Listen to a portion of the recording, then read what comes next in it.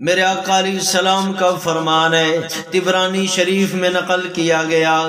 وہ اخراج القمامت منہا، مہور الحور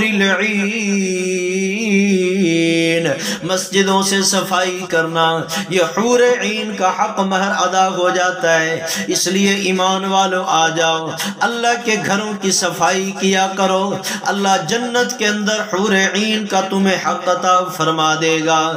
حور عین تمہیں انعام مل جائے گا۔ اور روایت سنتے جائیے، جو کہ ابن ماجہ کی روایت ہے۔ ابو سعید خدری رضی اللہ تعالیٰ عنہ راوی حدیث ہے، صحابی رسول ہے۔ میرے آقا نے فرمایا، من اخرج اذم من المسجد بن اللہ له بیتا فی الجنہ۔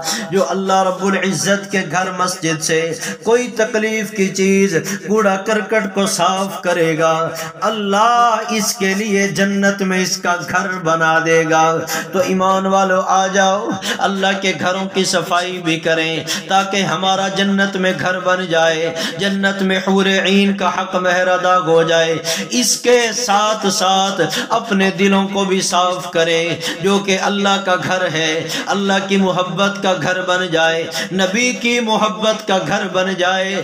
دلوں کو بھی صاف کریں۔ اپنے اعمال کو بھی صاف کریں انہی مسجدوں کی طرف چل کے آئیں اور عبادت کر کے اپنے گناہوں کو معاف فرما لیں معاف کروا لیں میرے نبی کا فرمان ہے، جو گھر سے وضو کر کے اللہ کے گھر مسجد کی طرف چلے گا، ایک قدم پہ گناہ مٹے گا اور ایک نیکی عطا کر دی جائے گی۔